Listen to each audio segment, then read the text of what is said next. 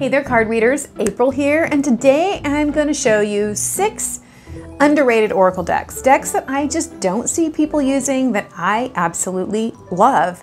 And I think they're an excellent addition to your collection, especially if you're a tarot reader. I love using these cards at the end or even the beginning of the reading to sort of set the tone of the reading. They're just, they're fabulous. The first five are in no particular order of how much I like them or don't, but the last one is my absolute favorite deck to work with. So I'm gonna kind of go into what I like using each one of these decks for. I'm gonna show you the cards, of course, and there'll be links down below if you're interested in purchasing. Those are affiliate links and I'll make some minuscule amount of money off of them. First up on my list, and I absolutely love this deck. Love, love, love this deck. It's by an independent creator. You can only get it on Etsy, so it's not mass produced. When you get it, it comes like beautifully wrapped. It's just there's so much care that's been put into this deck, and you can really feel it in the cards. And that is the Soul Truth Oracle deck here, and it says Self-Awareness Cards deck. And it really is about self-awareness. This deck, it's amazing. It's by Brianna Hosey. This deck comes with those nice little finger holes there. Do you ever get a box that doesn't have those and it's like you can't get it out of the box? You're constantly just, uh, you know, struggling with it. I, I really prefer those holes on a box. So this does not have a guidebook. She's very eco-conscious, very, very eco-conscious in her packaging, and the fact that she didn't produce a book. And that is because these are two-sided cards, but I will get to that in a minute. What I love using this for is, you know how sometimes you sit down and you're just kind of really full and you're not totally sure on what to do a reading on? This is a great place to start. These questions are just so thought-provoking and they really take you on a journey. Look at this. Am I on the right path? Am I willing? What am I looking for outside myself that I already that is already within me? These are just really beautiful. I love this just kind of soft colors and all of the feathers on here. And now here's the back side. So this one just got in there. Good way to segue into that. This is a great question here. Am I afraid to be seen? Wow. So you can see if you're if you're using this with tarot, then you could start with this as your main card and go, wow, this is this is what I'm diving into right now.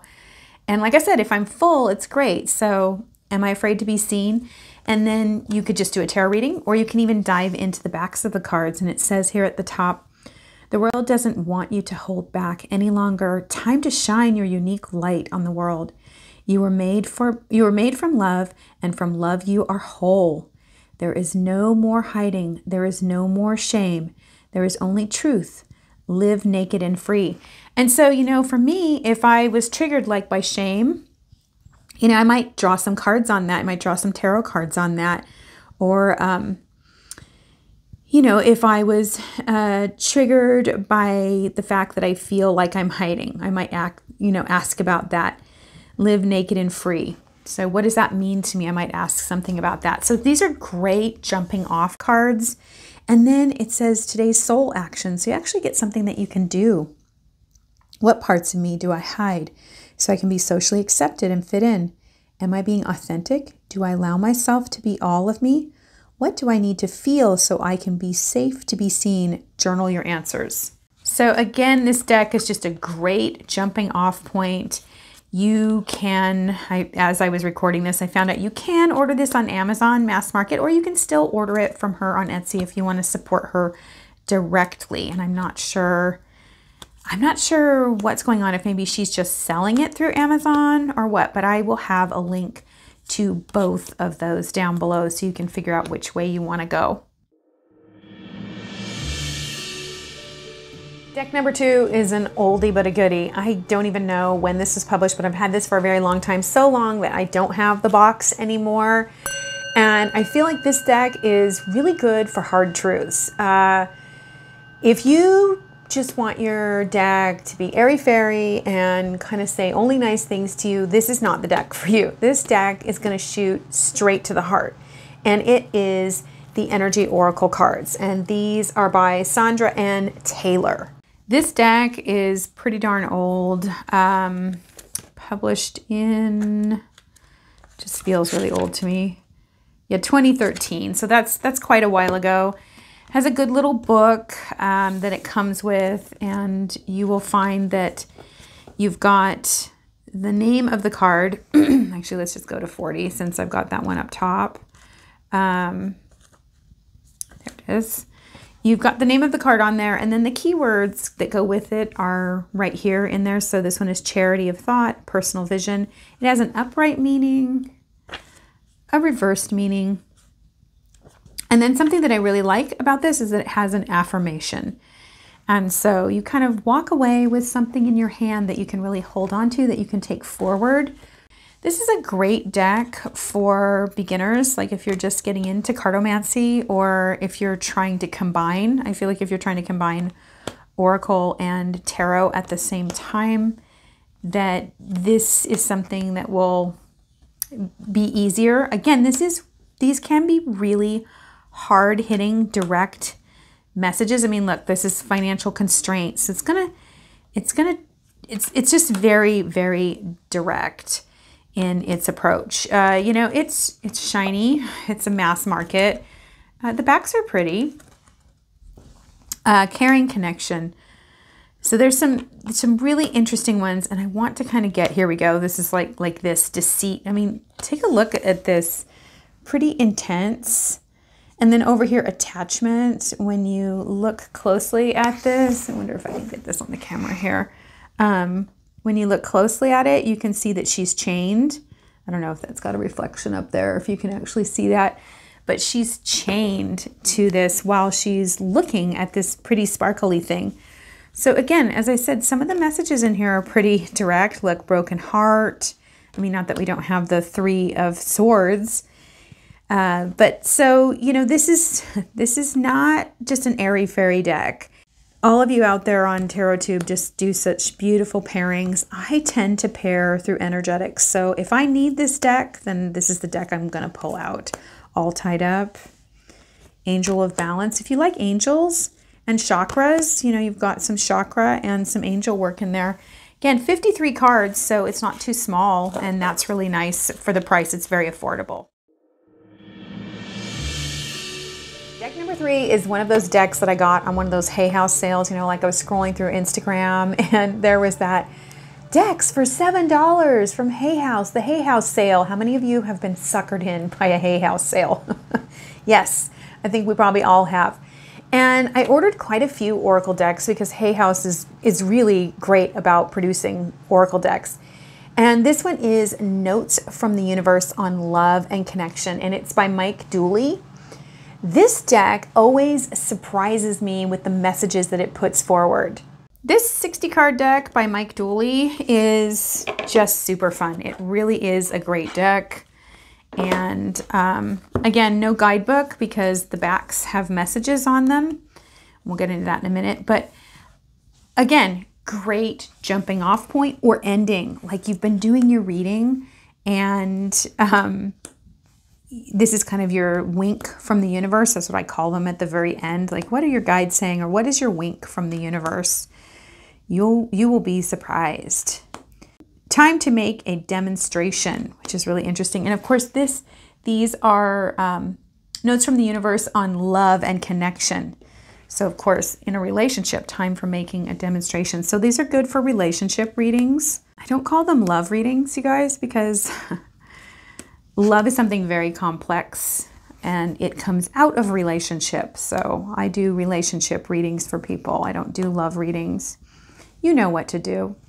So, you know, when you get that at the end of the reading and you're sitting there, it's like, ah, that's, that could tip you to that place where you're like, uh, I didn't want to hear that, but I do know. And I just, I was hoping that the cards would tell me. And I think that's great because it's really about owning your power. Sorry, I'm still really scratchy. I'm just got over laryngitis. So, as a matter of fact, I just want to let you know that all of the cards I'm featuring on here are heavy on keywords. And I do like, you know, keywords. Let's look at the backs here real quick. So this one is, let's do a small, let's do a smaller one. You glow, we beam. Okay, so you glow, we beam. Let's see what the back has to say here. In case everyone in case anyone should ask, your heart isn't so large because of your wings. It's your wings that are so large because of your heart. Isn't that sweet? Sometimes loving so much can be pretty heavy. Thanks for all you've shared, the universe. So I, I really like these. They're very thought provoking. I honestly do not tend to use the backs. I tend to use just this side and I like them again as those winks from the universe or as jumping off points. Deck number four is another semi oldie but goodie. I think this is printed in 2014. This deck again is very straight shooting. I love the fact that it has keywords on it. It really is a very direct answering or thought provoking deck. And it is the Soul's Journey lesson cards. And they really are about the lessons that you're learning on your soul's journey. I really, really love them. And it's by James Van Praagh. Am I saying that wrong? Prague. If it were Prague, I think it would be G U E at the end. Anyway, I'm probably saying that wrong. Sorry, James. 44 cards in this, and this does come with a guidebook here. Here are the backs. I kind of like them. Again, mass market decks, all of these are mass market decks, so they're very affordable. Well, I guess the first one, Soul Truth, was not originally mass market. Um, and it, it is the probably the most expensive. But so in here, you'll get the keyword, which is on the card, which I like. Um, and then there's a an affirmation. So like this one, in doubt, and it's also on the card as well. I release the need to know all the answers. And then there's just a, you know, a brief description of each card, just a couple paragraphs. And they just really read really well. Let me just get one here. Oh, failure. I understand that a mistake is only an opportunity to learn. Life on earth is full of experience. It is our human brain that views outcomes as good or bad. The soul simply views them as chances to grow. No matter what, be true to your dreams and creativity process. So that gives you a feeling for these cards. And they just have like really simple mandalas on them, as you can see, but I like them. They're very colorful. I love that they have you know, the, just these big keywords on them. You know, I use these again. I can, when I was doing weekly readings, a lot of times I would put these out like I'd put one in career, one in love, and one in spirit. And then I would draw tarot cards after it to elaborate on it. So that would kind of be the lesson that your soul was working on for the week. And again, these are not all sweet love and light either. You know, I like decks that take me into places that I need to go. Grief and death are very important aspects of our personal development as much as acceptance and perseverance are. And so there's that failure card. Loneliness, worry, you know, these are things that we face. Courage, blame, you know, when we're disempowering ourselves, we tend to be in a place of blame. And so understanding this and having this book that, that really calls you to look at the lessons that you're learning with yourself. Again, these are very simple, very simple cards, but I feel like they are very profound and lovely to work with. Deck number five, continuing on that Hay House roll, another deck by Hay House here. Another great deck that I feel is so easy to use. You could actually use this deck as a standalone, just like draw a card, like, oh, I need something right now. What do I need to hear? A little bit softer, sweeter, very supportive deck is the Wild Offerings Oracle, and this is by Tosha Silver. This deck is so pretty. The colors are soft and sweet and again, the messages are incredibly supportive. 52 cards here by Tosha Silver. And I've had this deck for a very long time. There is no book to this. Is there? No, there's no book to this. I love these backs. Aren't they cute? I think they're really cute. The elephants on there. And what I like about these is they have a keyword. So you can you could just go on the keyword if you want. And I, I, I like the art. I love the colors are really fun. Compassion and then there's a little it's it's like a prayer almost. And so I do like these at the end of my reading. And if you've ever gotten a reading from me, there's a good chance that you may have gotten one of these. Um, this is a great card a day thing where you know you just pull it out and you're like okay what am i going to just give me a little a little word gratitude um, and a prayer. They are just really great. Striving are you striving? Solitude what does that mean to you?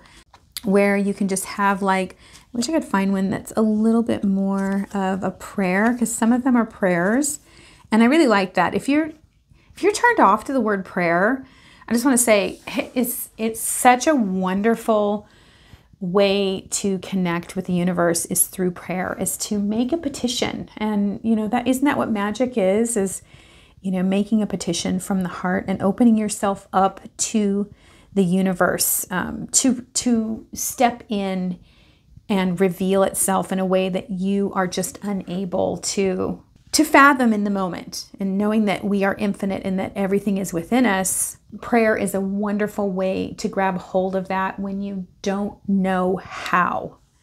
Despair. So this one here.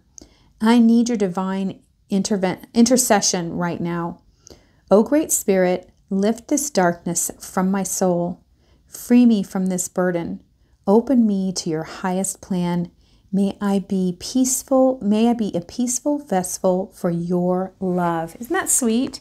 These are, like I said, these are great for at the end of a reading or just as a daily pull. Deck number six, last but certainly not least, my favorite Oracle card deck, the one that is like, uh, you know, totally me. I totally use it every week, sometimes multiple times a week.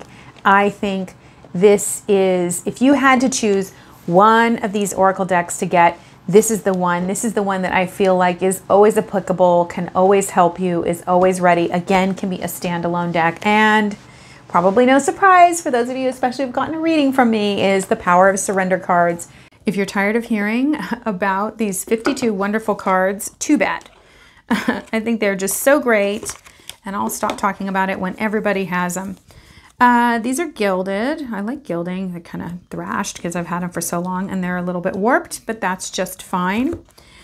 I've talked about this before, but as people doing spiritual work, especially if you're engaging with a magical practice or spiritual practice of any kind, you are working on yourself. You are doing the work of surrendering, of letting go, of laying down, of giving yourself over to something, right? Moving, always moving towards yourself and refining what it is that you are and everything that you feel.